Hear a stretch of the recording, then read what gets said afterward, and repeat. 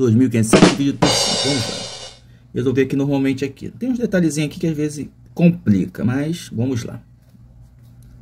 Dividido aqui por 5. Normalmente aqui, né? 25 dividido por 5. Dá 5 aqui, né?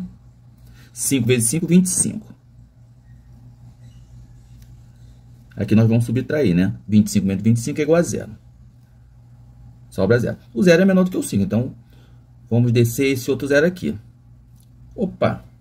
Só que ainda continua menor do que, os, do que o 5. Esse zero aqui, né? Esses dois algarismos aqui, zero é menor do que o 5. Então, vamos precisar descer esse outro algarismo aqui, o 5.